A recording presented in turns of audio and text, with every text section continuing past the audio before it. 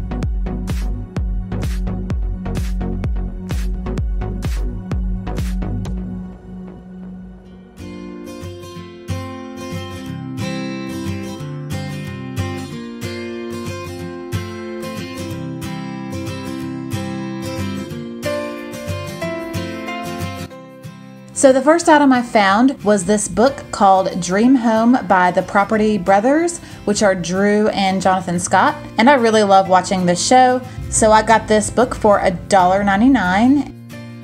This book has a lot of great tips and tricks, and I will enjoy reading this. And I have it here on my bookshelf with all of my other thrifted books.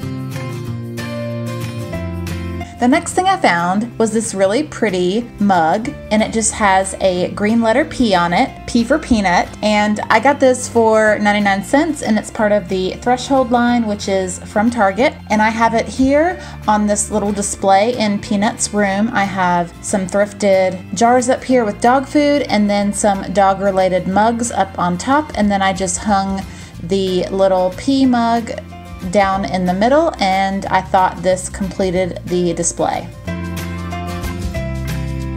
The next thing I found was this awesome Trans by Jansport book bag. So this book bag was only $3.99 and has a really cool pizza print. Hannah loves anything pizza related. So here she is modeling the book bag. We did put it in the wash and she just absolutely loves it and it's in great condition.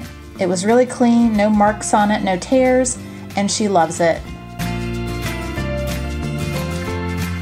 And the last thing I got was this round glass patio table for only $7.99 and it was in really great condition and it was really sturdy. So I know I just got the little table that I painted from Five Below for my porch, but that was only going to be temporary, and I happened to find this one, and it was bigger and taller. And eventually, I am going to get two new chairs to go on each side of the table.